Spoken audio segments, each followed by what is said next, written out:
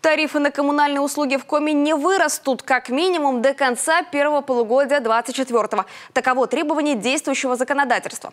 В Комитете по тарифам напомнили, несколько лет в республике устанавливаются льготные тарифы на тепло, вода и электроснабжение, чтобы сдержать рост платы за ЖКУ для населения. Выпадающие доходы тепловикам компенсируют из республиканского бюджета.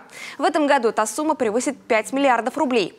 Будет продолжена практика заморозки льготных тарифов на тепло тепло для населения в некоторых муниципалитетах. Для людей, проживающих в домах, оборудованных стационарными электроплитами, и для населения, проживающего в селах, применяются понижающие коэффициенты на электроэнергию в размере 0,7%.